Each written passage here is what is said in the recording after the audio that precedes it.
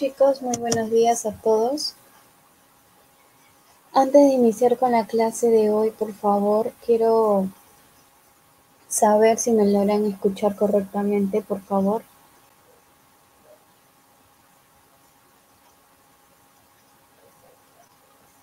¿Me pueden confirmar, chicos, si me logran escuchar? ¿Todo bien?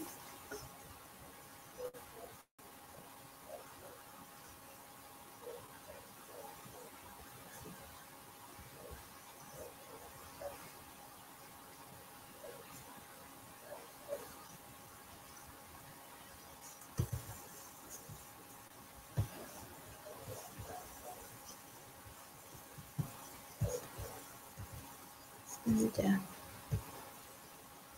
Listo, vamos a iniciar con la clase de hoy.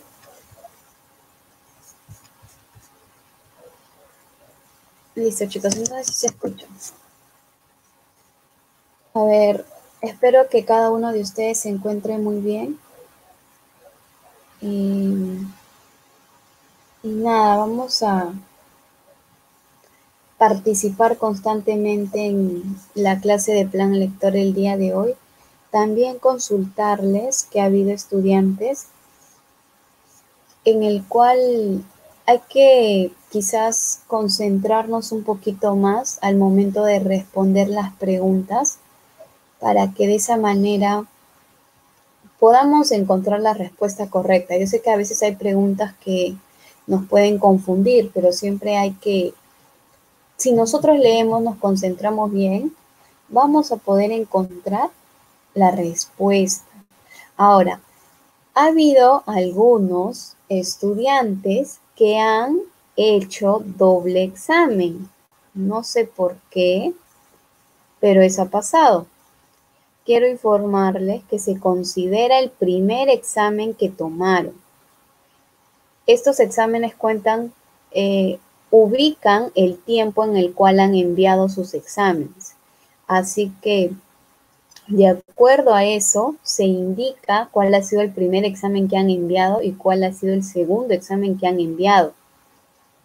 Así que, por favor, les pido que esas acciones no vuelvan a suceder. Solo el examen se realiza una sola vez, no más de una sola vez. Así que tengan mucho cuidado con eso.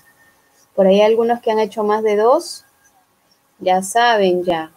¿Y qué ha pasado con sus compañeros? A ver, mm, buenos días, Luis André, Pablo, Geraldine, Dayana, Edwin, Naomi, Piero, Diego Suárez, Yosari y Nayeli. Faltan un montón de sus compañeros, se han quedado dormidos el día de hoy. ¿Qué ha pasado?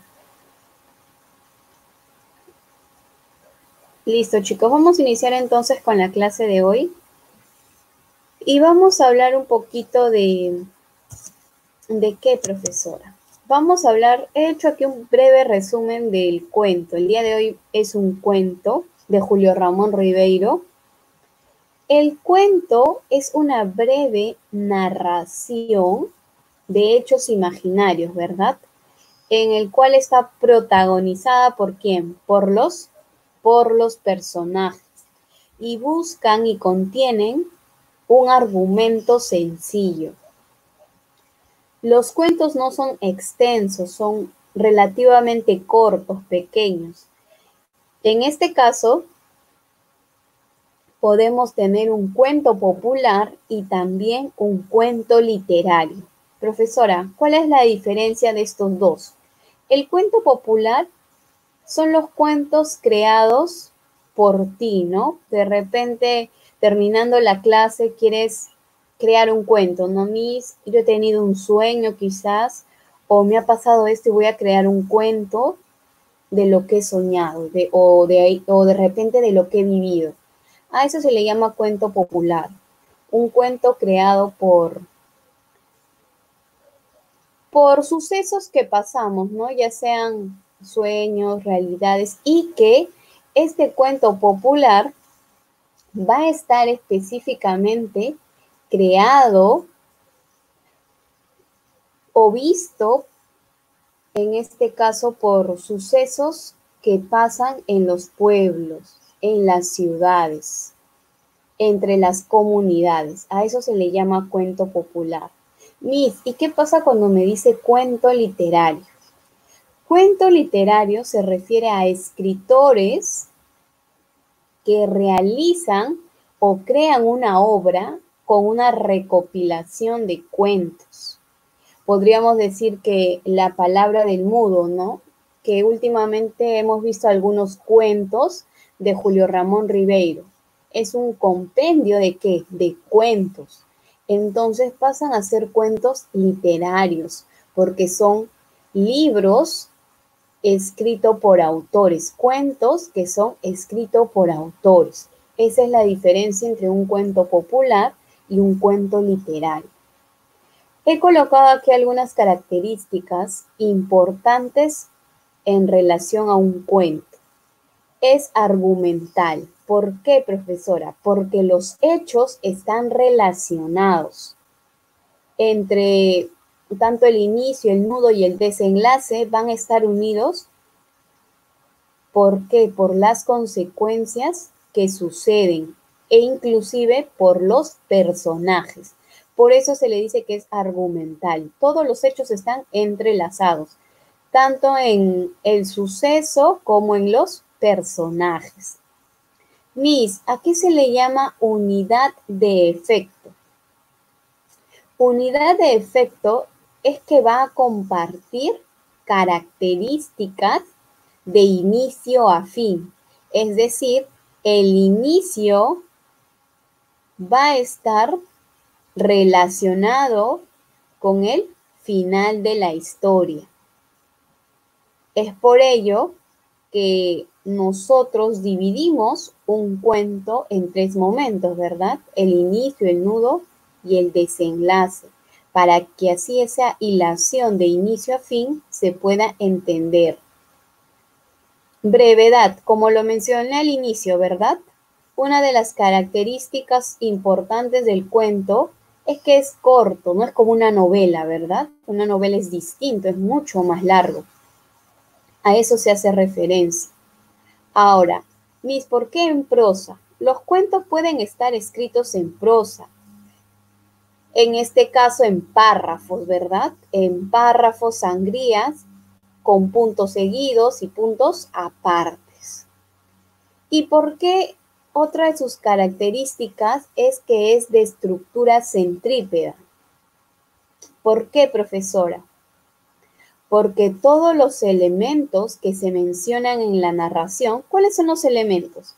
El ambiente, los personajes, eh, el lugar donde ocurren los hechos, el tiempo. Todos estos elementos del cuento se relacionan y funcionan con indicios del argumento. Todos los elementos, al igual que los momentos, van a estar relacionados. Entonces he querido por aquí darles una pequeña introducción sobre el cuento. Esta diapositiva la van, la van a copiar en su folder, en su cuaderno, en su hoja que tengan en el cual estén eh, utilizando como plan, como plan lector, chicos. Ahora, vamos a entrar en sí en el tema ya. Y aquí sí quiero su participación. ¿Qué sucede, profesora? Vamos a iniciar, ¿no? Y aquí tenemos dos imágenes. Y me dicen, ¿no? Observa las imágenes y responde. Nos vamos a la primera imagen. Dice, la primera imagen donde está el joven, la primera imagen nos puede traer buenas consecuencias. Chicos, ¿ustedes qué piensan? Observamos, ¿qué observamos en la imagen? A ver. Observamos que un joven está fumando, ¿verdad? Está con su cigarro en la mano. Chicos, según la pregunta que he colocado, ¿Consideras que esta primera imagen va a traer buenas consecuencias más adelante a este joven? ¿Ustedes qué opinan? ¿Qué dicen? A ver, ¿será bueno las consecuencias que le va a traer? ¿Cuáles van a ser los resultados que van a proporcionar en este joven el cigarro o el tabaco, como le dicen, ¿no? Muy bien, Luis, eh, Dayana me dice no, porque fumar es dañino. Luis Andrei, el chico está fumando y le va a dar cáncer de pulmón. Muy bien. No, me dice Nayeli. Diego, no te da cáncer. Muy bien. Diego, no porque fumar te malogra los organismos. Muy bien, Nayeli, fumar es malo. Muy bien. Entonces nos vamos dando cuenta que una de las consecuencias por las cuales más adelante, porque quizás este joven, como todavía eh, su misma palabra lo dice, ¿no? Es joven, piensa que no le va a afectar, ¿no? Que muchas personas le, de repente le estarán diciendo, deja de fumar, ¿por qué fumas? Eso te va a causar consecuencias. Pero como uno es joven, cree que lo sabe todo, ¿verdad? Y este joven de repente mm, no está viendo en este momento las consecuencias, simplemente está viviendo su presente. Pero nosotros sabemos cuáles van a ser las consecuencias de fumar, en este caso constantemente, ¿no? Hay personas que fuman diariamente. Dice, a ver, Diego, no, por, no porque fumar te malore los organismos. Eric, no porque le puede dar cáncer. Frank, no porque fumar es dañino. Listo, entonces nos vamos dando cuenta de eso en la primera imagen, ¿verdad? Como este joven, no sabemos, porque es solo una imagen, si quizás alguien lo puede aconsejar o quizás no, ¿verdad? No entiende las consecuencias del, del cigarro, ¿no?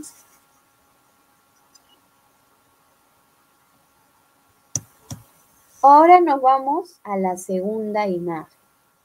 Eh, perdón, en este caso a la segunda pregunta. Miss, ¿qué sucede en la segunda pregunta?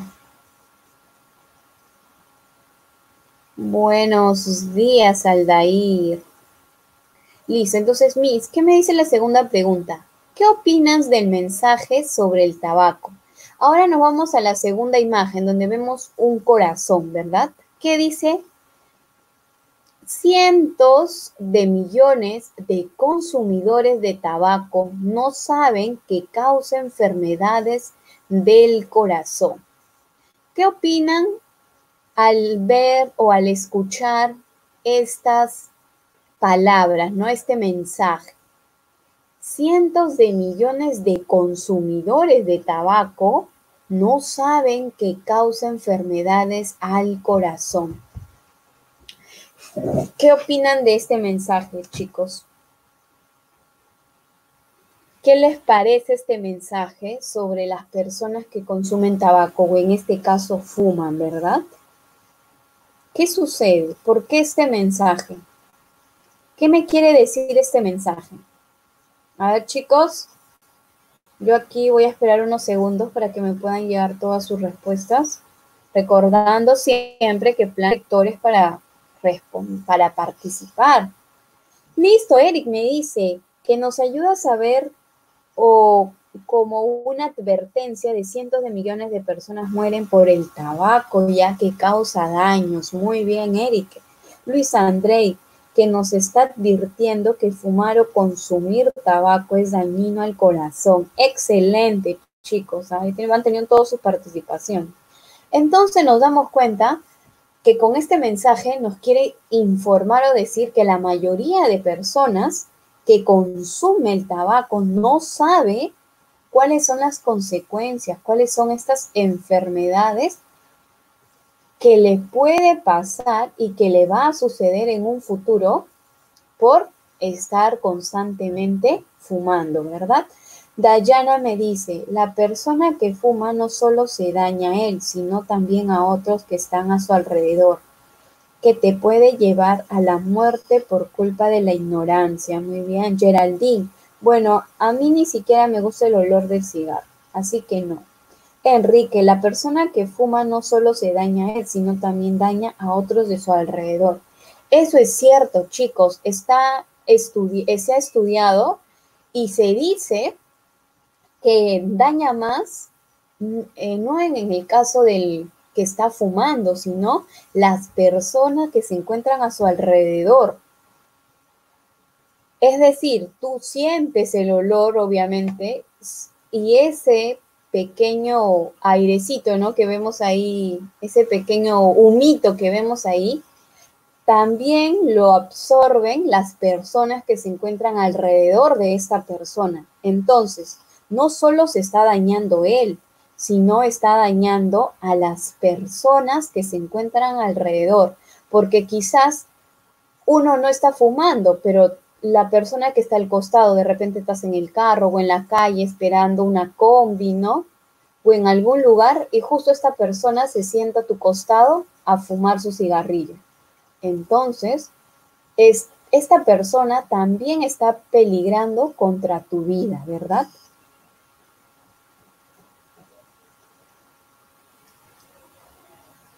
Por aquí me dice mi Geraldine, Miss, pero si la nicotina se queda, exacto, se queda en los pulmones del fumador, pero hay una cierta parte que en el humo del cigarro también, también eh, provoca alguna consecuencia en las personas que se encuentran a su alrededor. Entonces, chicos, de esta manera hemos logrado entrar al tema del día de hoy, que con las imágenes ya hemos podido notar qué es lo que va a suceder, ¿verdad? ¿Qué va a pasar? Buenos días. Dime. Dígame. Sí, sí, sí. Ay, ya, pierda cuidado, yo la voy a considerar en la lista. Justo estoy en clase, discúlpenme, ya. Ya, ya se Listo, chicos. Entonces vamos a empezar con la historia y para ello ya nos concentramos. Yo voy a iniciarla y ustedes me van a seguir, ¿verdad? El título de esta historia es Solo para fumadores. Este cuento es de Julio Ramón Ribeiro y está en, en su libro, ¿no? La palabra del mudo. Iniciamos y dice, ¿no? Después de fumar mi primer cigarrillo, me sentí tan mal que estaba vomitando toda la tarde y me juré no repetir la experiencia. Cuando entré a la universidad, seguía fumando cuando no tenía cigarros ni plata para comprarlos, se las robaba a mi hermano. También fumé cigarrillos Inca porque eran los más baratos. Un tío militar me traía del cuartel cigarros de tropa. No me costaban nada y se fumaban. No sé si el tabaco es un vicio hereditario mis tíos eran grandes fumadores. Mi tío paterno George, fumando, murió de cáncer al pulmón. Entre tanto, mis cuatro tíos maternos vivieron esclavizados por el tabaco. El fumar se había ido ya enhebrando con casi todas las ocupaciones de mi vida. Mi viaje en barco a Europa, estuvo marcado por el cigarro. Fumaba apoyado en la borda o en el barro. Era lindo, lo reconozco. Los escritores, por lo general, han sido y son grandes fumadores. Pero es raro que no hayan escrito libros sobre el vicio del cigarro. Ya en París mis recursos fueron disminuyendo y no me quedó más remedio que contentarme con el ordinario tabaco francés. Ocurrió que un día no pude ya comprarme mis cigarros franceses y tuve que cometer un acto civil, vender mis libros.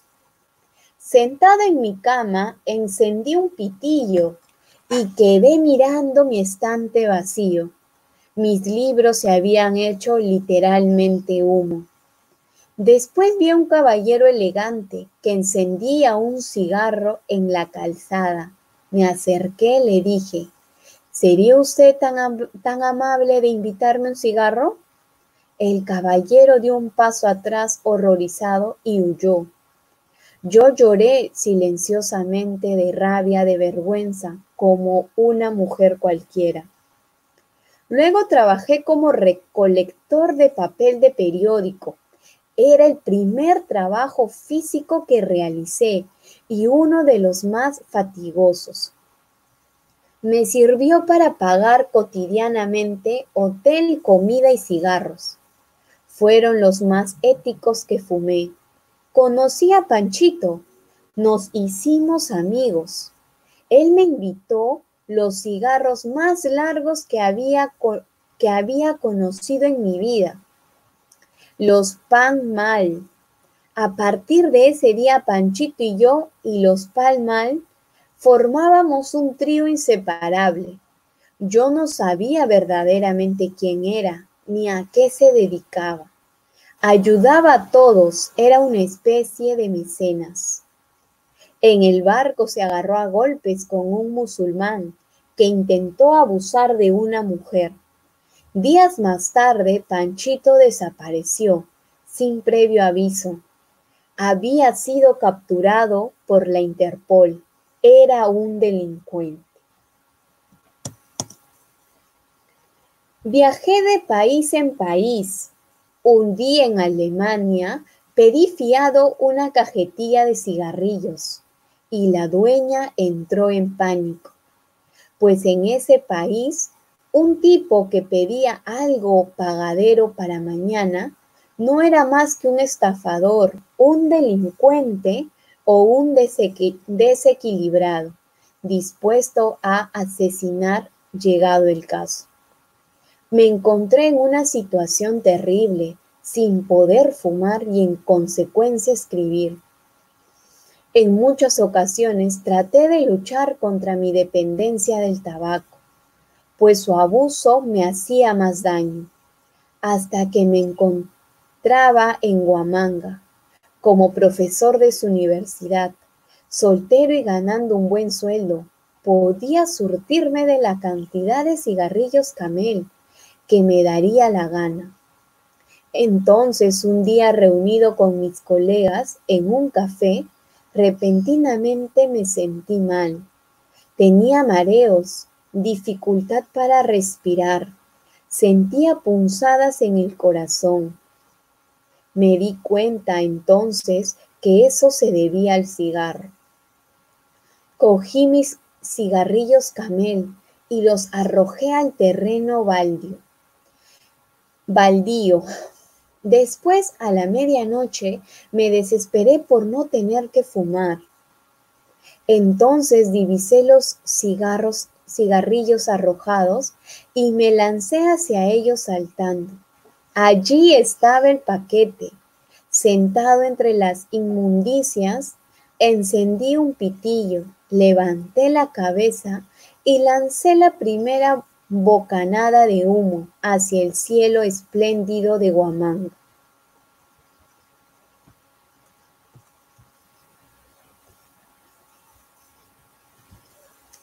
Listo, chicos.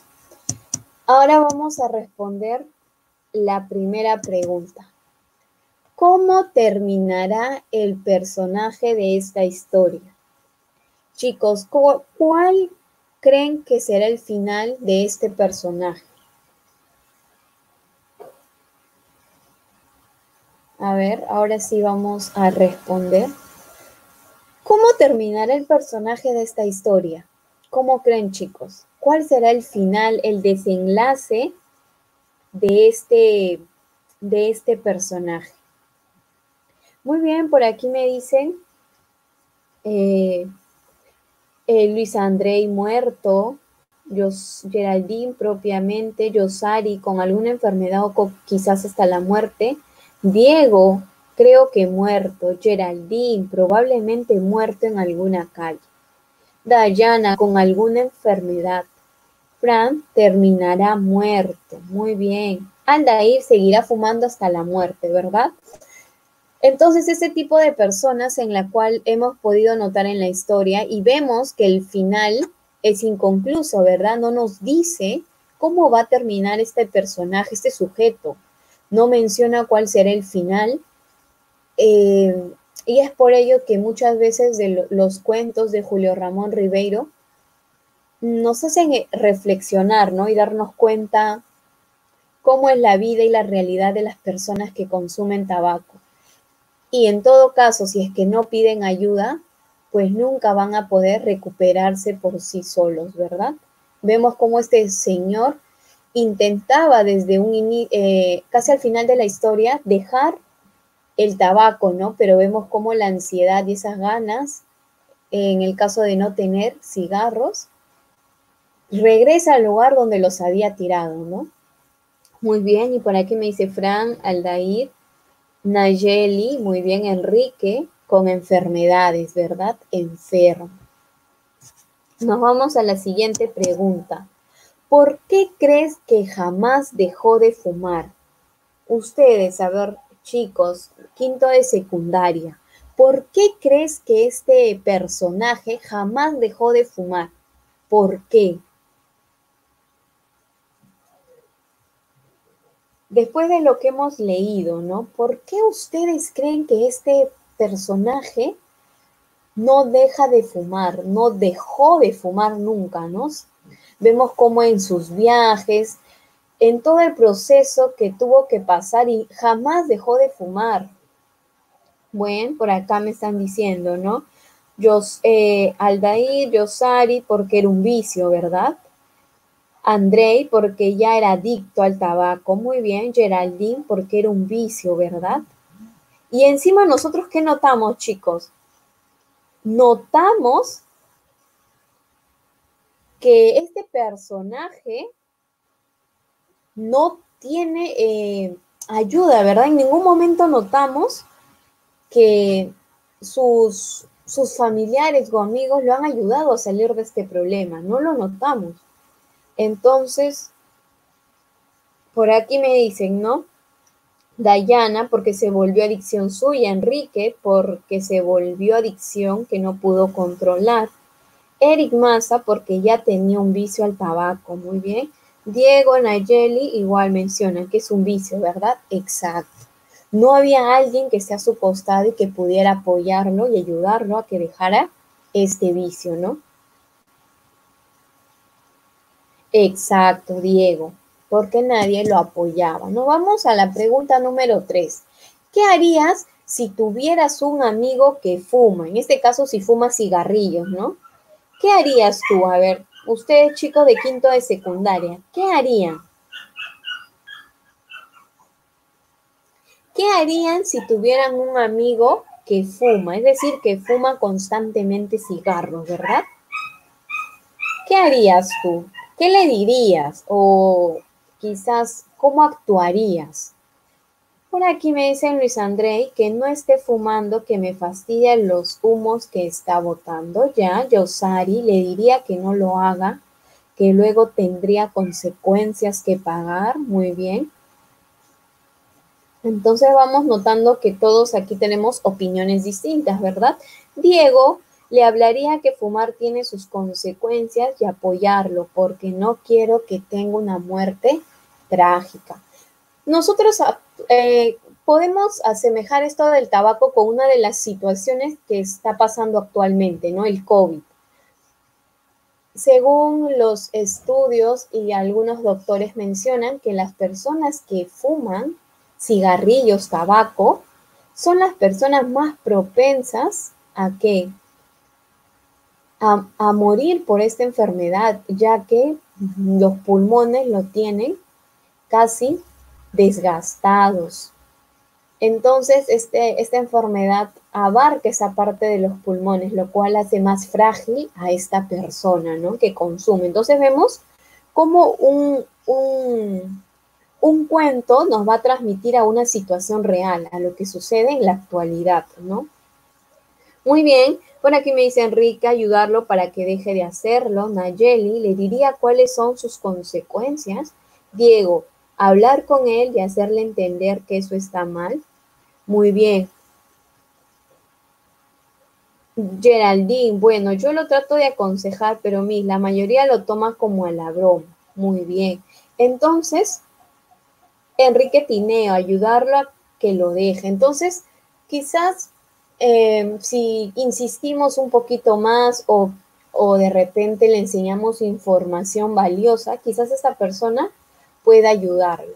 Obviamente ustedes simplemente lo van a aconsejar porque hay instituciones en la cual lo van a ayudar a que pueda dejar este vicio, ¿verdad? Del cigarro. Muy bien, chicos. Y nos vamos a la cuarta pregunta. ¿Qué hubieras cambiado en la historia? ¿O qué hubieras cambiado de la historia? Chicos, ustedes, ¿qué hubieran cambiado de esta historia?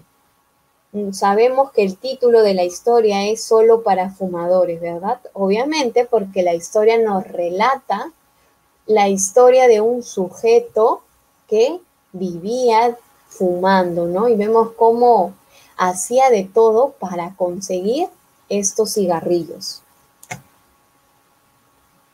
No te preocupes, Maricielo. Muy bien. Entonces, por aquí me dicen, ¿verdad? Aldair, de que el fumador dejaría el tabaco porque eso mata los pulmones, enviándolo a un centro de control de adicción. Muy bien, Luis Andrei. Número cuatro, que haya peleado con su adicción o que nunca haya fumado. Muy bien, Yosari, que al final tuviera un amigo que pudiera apoyarlo. Muy bien. Maricielo, ah, Maricielo, muy buenos días, no te preocupes. Diego, que hubiera tenido un apoyo familiar. Muy bien, chicos. Entonces nosotros hemos notado en la historia que este personaje estaba solo, nadie lo apoyaba, nadie lo ayudaba e inclusive su familia, sus tíos, lo incitan a que fume, ya que nosotros hemos podido ver en la lectura que hay un tío militar que le trae cigarrillos, ¿verdad?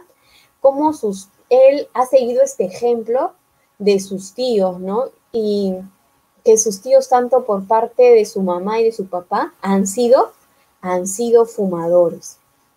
Muy bien, por aquí me dicen, eh, Dayana, ¿no? La parte de Panchito, que hubiera sido un buen amigo y lo ayudaría a superar.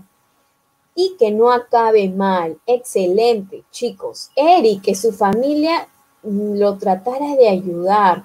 Geraldine, alguien que lo motivara a cambiar. Muy bien, chicos, excelente. Quinto de secundaria. Entonces siempre buscamos alguna persona, en este caso, en la pregunta 4, ¿no? ¿Qué hubiéramos cambiado? La mayoría ha mencionado lo mismo, ¿no? Que pueda ser familiar o puedan ser amigos que ayuden a este personaje a cambiar, a cambiar su vida, en este caso que pueda, pueda ser apoyado y de esa manera llevado a un centro de rehabilitación, ¿no? Para que mejore tanto él y su, y su salud. Muy bien, Enrique Tineo, que hubiera sido un buen amigo y lo ayudara a superar su adicción. Muy bien, chicos, realmente estoy muy contenta. Felicidades a todos ustedes por participar en la clase de plan lector. Ahora vamos a ir a evaluamos, ¿no? A la evaluación. Como ya saben, aquí eh, son preguntas del texto, ¿no? de la lectura. Para ello, vuelvo a requerir la participación constante de todos ustedes para de esa manera poder finalizar la sesión de hoy. Muy bien. Vamos a la primera pregunta. Integrante de su familia que le llevaba cigarrillos. ¿Quién era este integrante de su familia que hace que este personaje desde tan pequeño inicie en este, mm, en este vicio ¿no? del, del cigarro?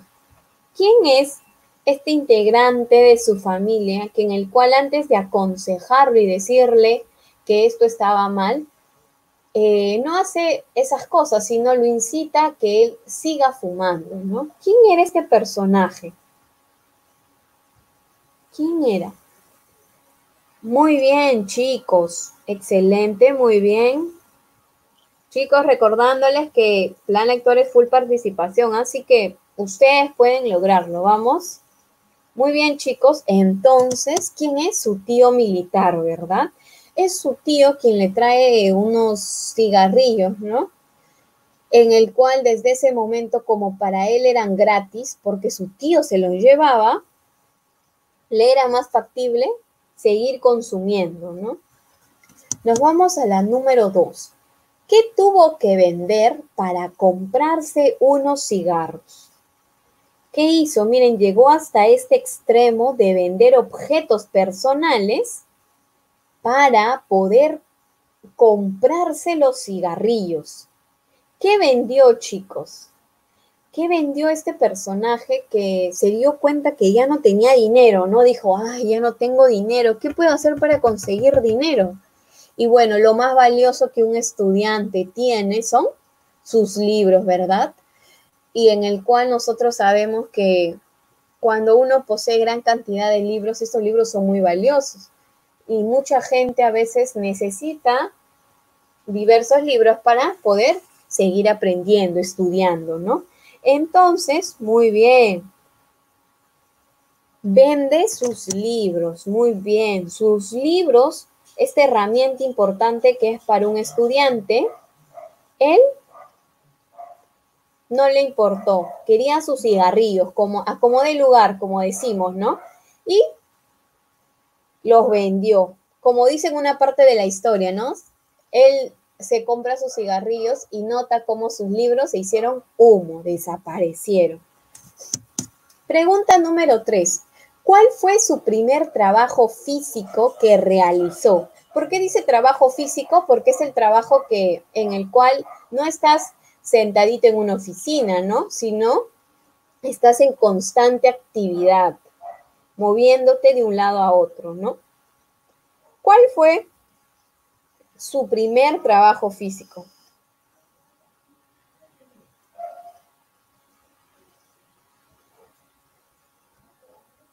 ¿Cuál fue este trabajo físico?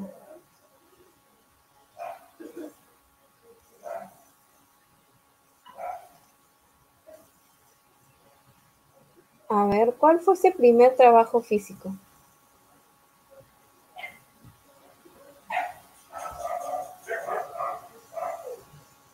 A ver, ¿qué me dicen ustedes, chicos? ¿Cuál fue su primer trabajo físico? Muy bien, su primer trabajo físico fue ser recolector de papel periódicos, ¿no? Recolectar esos periódicos que por ahí a alguien no le sirve, él los recolectaba, ¿verdad? Recolectaba los periódicos. Muy bien, chicos, nos vamos a la siguiente pregunta. Número cuatro.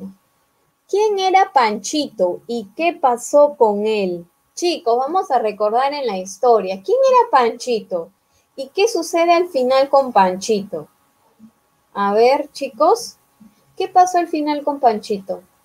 ¿Quién era ese personaje que aparece con nombre propio en la historia? Porque no, no sabemos todavía quién era el personaje, ¿ah?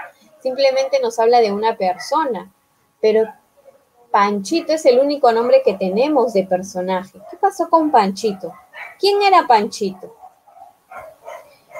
¿Y qué pasó con él? ¿Qué pasa en el transcurso de la historia con Panchito? ¿Qué sucede con este personaje? Ah, muy bien, chicos, excelente. Ah, de verdad, un aplauso para todos ustedes. Están participando muy bien. Los felicito de verdad. Muy bien, chicos. Entonces, vamos notando ¿Qué sucedió con Panchito? ¿Quién era Panchito? Panchito era amigo del protagonista, ¿verdad? Pero a la vez era un ladrón, un delincuente. Y luego desaparece tras ser arrestado por la Interpol, ¿verdad? La Interpol que es una de las entidades en la cual se encarga de buscar a personas por delitos agravantes, ¿verdad? Entonces notamos que era amigo del protagonista y a la vez era delincuente, ¿verdad? Que acaba encarcelado, acaba en la cárcel. Muy bien, chicos. Entonces, para ir finalizando, vamos a la siguiente pregunta. Cinco. ¿Por qué arrojó sus cigarros Camel a un terreno baldío? ¿Qué sucedió para que el personaje hiciera esto? ¿Qué lo motivó a que arroje sus cigarros? Encontramos esta parte, ¿verdad?, de la historia eh, como desenlace al final, ¿no? ¿Por qué? ¿Qué sucedió para que este personaje eh, arrojara sus cigarros? ¿Qué pasó?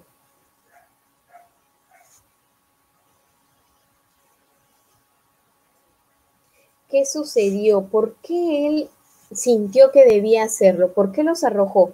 ¿Qué le sucedió antes para que él tomara esta decisión? ¿Qué síntomas tuvo para que él, recién pudiera botar estos cigarros?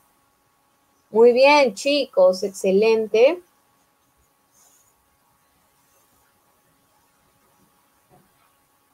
Muy bien. Muy bien, chicos. Soy, eh, leo todas sus respuestas. No se preocupen por eso. En cuestión de participación. Muy bien, chicos. ¿Cuál fue el suceso por el cual él arroja los cigarros? Es que empieza a sentirse mal, mareos, siente dificultad para respirar y sintió pulsadas en el corazón, ¿verdad? Es decir, se siente mal. Y es por ello disculpe, y es por ello que arroja sus, arroja sus cigarros.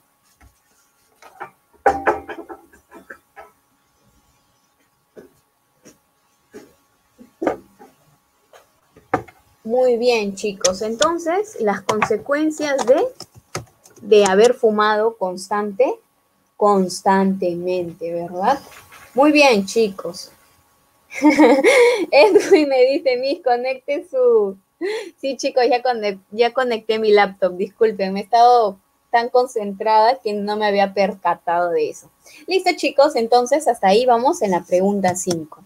La pregunta 6 es algo más, eh, no le he colocado respuesta porque cada uno piensa eh, de manera distinta, ¿verdad? Y ¿cuál es la pregunta número 5? ¿Qué consejos le darías al personaje? Chicos, ¿de qué manera ustedes aconsejarían a este personaje? ¿Qué le dirían a este personaje? Si quizás se lo encuentran, ¿no? Esto pasa a la realidad. Aunque estos sucesos de Julio Ramón Ribeiro, estos cuentos que se encuentran en la antología de la palabra del mudo, lo mencioné eh, cuando empezamos con la primera historia, ¿no? Y les dije que estos cuentos reflejan la realidad peruana, ¿no? Y la realidad que sucede en todo el mundo, en verdad, no solo peruana. Entonces, ¿qué harían ustedes o qué le aconsejarían a este personaje? Para que quizás mm, pueda, pueda mejorar, ¿no? No solo por él, sino por las personas que lo rodean. Muy bien, por aquí me dice Aldair que dejara de fumar, muy bien, porque le va a tener consecuencias. Diego, que deje ya ese vicio. Geraldine, ah, le haría ver su final y lo ayudaría, muy bien. Eric, le diría que deje de fumar, muy bien.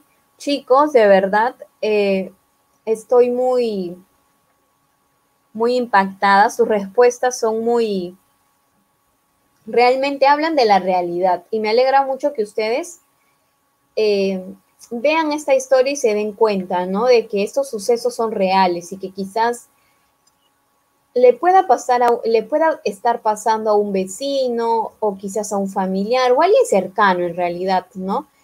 Y de alguna manera poder aconsejarlo y darnos cuenta también cómo esta enfermedad el vicio de fumar constantemente nos va a dañar la salud, ¿verdad? Muy bien, chicos. Nos vamos a la última pregunta. La número 6 tampoco tiene respuesta porque he tratado de que ustedes obviamente tienen respuestas distintas porque estas son preguntas generales. Y nos vamos a la 6. ¿Qué personaje imaginas que es el protagonista?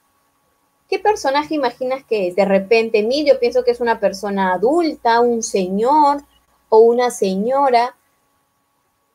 ¿Quién creen ustedes que es el personaje de esta historia?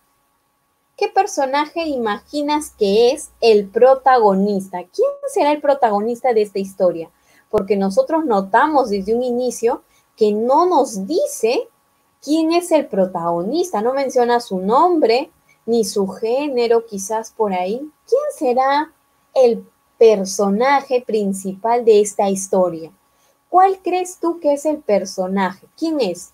¿Será de repente un señor, un joven, un anciano que está contando su historia, una mujer? ¿Quién crees que es este personaje?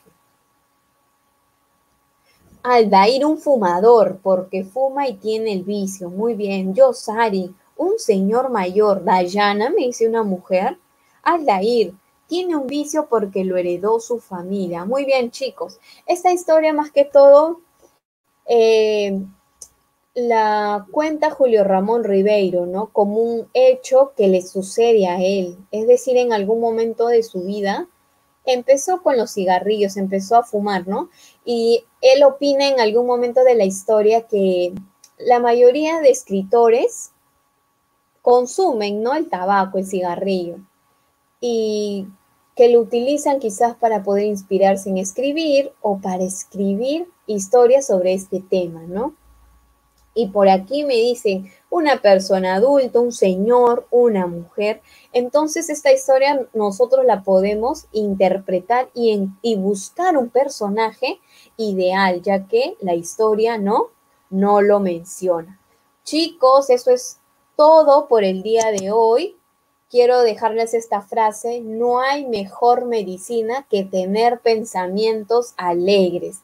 Así que chicos, este tema he tratado de que lo puedan interpretar de la manera más positiva, que se den cuenta el daño que causa el tabaco.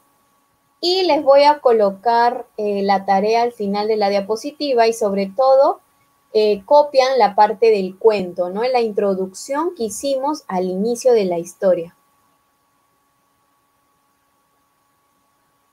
Luis Andrei me dice, me, dio curiosidad, ¿por qué una mujer? Porque en realidad la historia no especifica si es él o ella, simplemente habla de algún personaje. Y aquí muchos de tus compañeros lo están interpretando y están buscando una, una historia, un personaje ideal.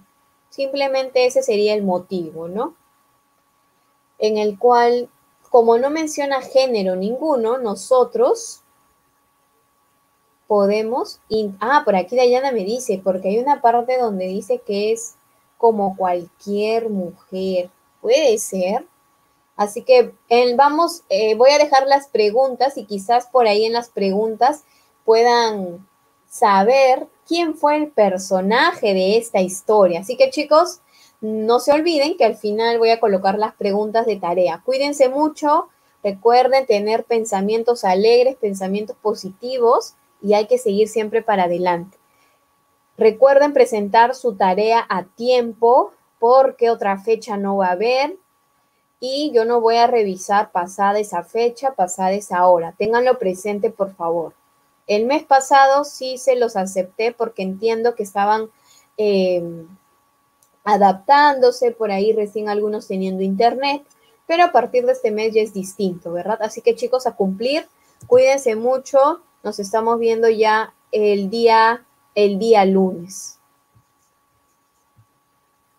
No se olviden hacer todas sus tareas y ponerse al día. Si no hay ninguna pregunta, ninguna duda, terminamos la transmisión porque luego tienen la siguiente clase. Muy bien, Luis Andrés, está contento, perfecto. ¿Listo, chicos? No veo preguntas, no veo dudas, así que nos estamos viendo en la próxima clase.